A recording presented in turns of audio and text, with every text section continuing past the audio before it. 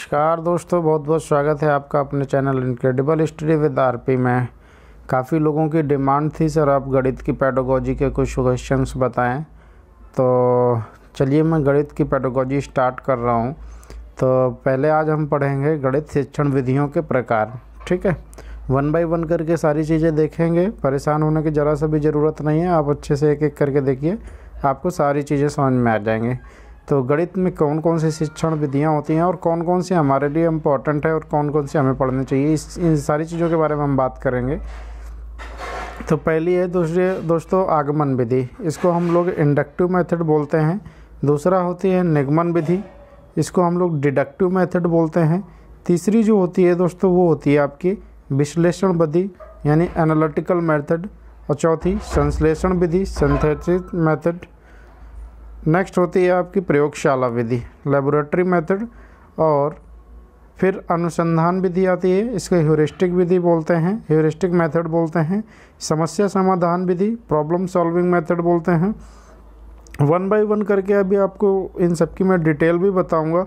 Next है आपका प्रयोजना विधि। प्रयोजना विधि को प्रोजेक्ट मेथड बोलते हैं। नेक्स्ट है नाइन्थ व्याख्यान विधि। इसको लेक्चर मेथड बोलते हैं। विचार विमर्श विधि को डिस्कशन मेथड बोलते हैं। ठीक है, इसके बाद आगे आ जाते हैं, आगमन विधि के बारे में बात करते हैं। ठीक है, आगमन विधि क्या होती है? इंडक इंडक्टिव मेथड इसके अंतर्गत सारी चीज़ें देखेंगे। ठीक है, इसमें किन किन चीज़ों को महत्व दिया जाता है? तो इस विधि में प्रत्यक्ष अनुभवों, उदाहरणों तथा प्रयोगों का अध्ययन कर नियम निकाले जाते हैं। तथा ज्ञात तथ्यों के आधार पर उचित सूझबूझ से निर्णय लिया जाता है। यानी आपको एक चीज़ पता होनी चाहिए कि आप ज्ञात तथ्य होने चाहिए।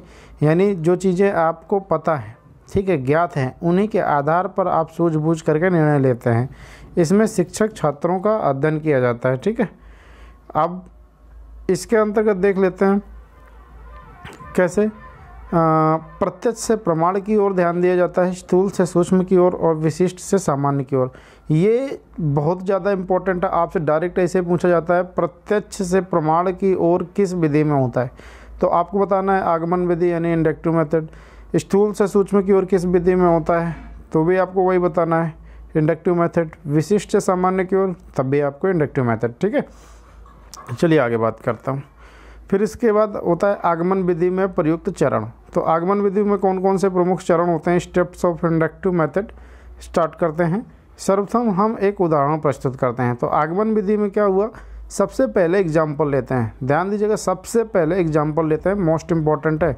उस उदाहरण का निरीक्षण किया जाता है, उसका पहले ऑब्जर्वेशन करते हैं।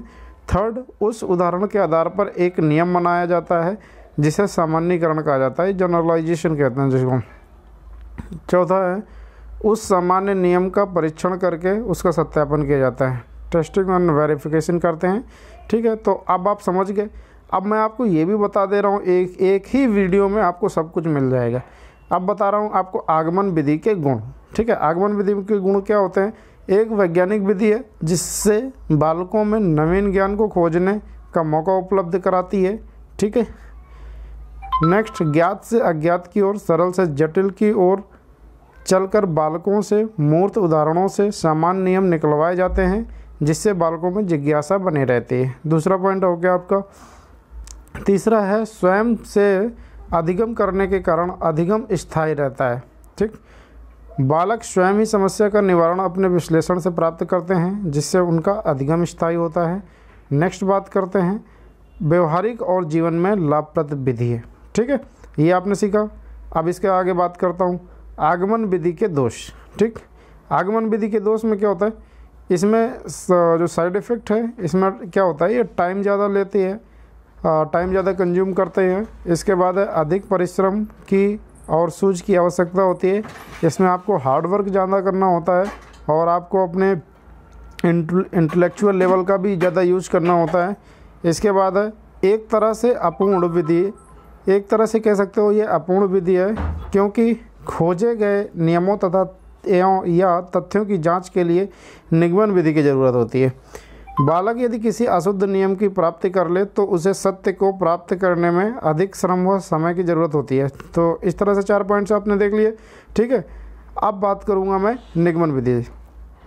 देखिए गणित में ये बहुत ही ज़्यादा इम्पोर्टेंट है। आप इनको अच्छे से तैयार कर लीजिएगा। जनरली पूछा जाता है, सरल से कठिन की ओर किसमें होता है, प्रत्यक्ष से अप्रत्यक्ष की ओर किसमें होता है। तो ये सारी चीज़ें इंपॉर्टेंट होती हैं जो पूछी जाती हैं, ठीक है? अब बात करूँगा निगमन विधि यानी डिडक्टिव मेथड और ये आपके सी टेट टी और किसी भी राज्य के लिए क्यों ना हो परीक्षा?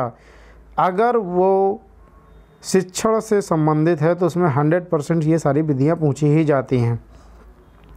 तो इस विधि में क्या होता है? इस विधि में पहले से स्थापित नियमों व सूत्रों का प्रयोग करके अध्यापक छात्रों को समस्या का समाधान करना सिखाते हैं। ठीक है? अब इसमें क्या होता है? चलिए, नियम से उदाहरण की ओर होता है। जस्ट आपका जो इंडक्टिव मेथड में होता है, उसी का जस्ट इसमें अपोजिट होता है।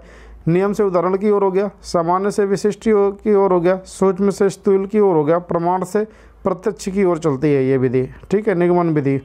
अब बात करूँगा निगमन विधि के क्या क्या गुण होते हैं। ठीक है properties of inductive deductive method के।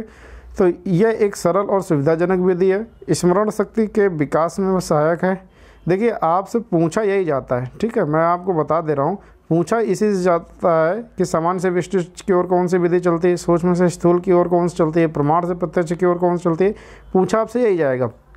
लेकिन फिर भी जानकारी के लिए आपको ये याद रखना ज़रूरी है। संक्षिप्त और व्यवहारिक विधि है। बालक तेज़ी से सीखते हैं, ठीक है? अब बात कर देता हूँ निगमन विधि के दोष क्या क्या होते हैं। तो निगमन विधि के दोष होते हैं, रटने की शक्ति पर बल देती है, निजी विश्लेषण क्षमता का प्रयोग न करने के कारण मानसिक और कल्पना शक्ति का विकास बाधित होता है इसमें। रटा हुआ ज्ञान स्थायी नहीं रह पाता है, ठीक है? इसके बाद बात करते हैं, छोटी कक्षाओं के लिए सर्वथा अनुपयुक्त विधि है ये, ठीक? तो अब इस तरह से मैंने इसमें दो विधियाँ बताई, आज आगमन विधि बताई और निगमन विधि बताई, ठीक है? आपको मैंने आगमन विधि बता दी और निगमन विधि बता दी, ठीक है? डिडक्टिव मेथड बता दिया और इंडक्टिव मेथड बता दिया। और आपको कितने प्रकार की विधियाँ होती हैं गणित की, वो भी मैंने बता दी, ठीक है? यानी टाइप्स ऑफ़ टाइप्स हमने सीख लिया ठीक है? तो इस वीडियो में मैं इतना ही रखूँगा। इसके आगे की जो विधियाँ हैं, अगले वीडियो में डिस्कस करूँगा।